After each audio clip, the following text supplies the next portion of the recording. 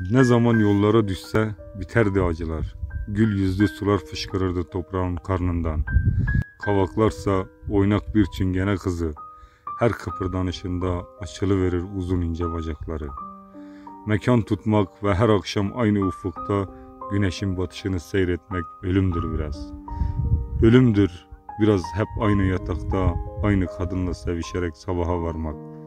Kitapları hep aynı raflara sıralamak, aynı eşyayı kullanmak eskimektir biraz.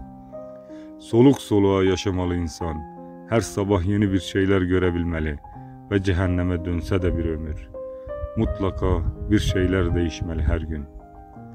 Ey o büyük yolculukların ürperten heyecanı, okyanus dalgalarının sesleriyle dol bu ömre, ölüme ve aşka durmadan kemen atan, serüvenlerle geçsin yaşamak. Buz tutmuş bir dünya ortasında yollara düşerdi o hep aynı ıslıkla. Önünde dağlar, uçurumlar, sarsılan gök, yarılan toprak. Çelik uğultularla bu urgaçlanırken yaşamak işte öylesine kucaklardı onu. Ve her nasılsa keklik sekişli bir aşkın sevinci dolardı yüreğine. Çıkarıp atardı o zaman deli bir ırmağa ne kalmışsa bir önceki serüvenden. Soluk soluğa yaşadı kentleri, aşkları bağlanacak kadar kalmadı hiçbirinde.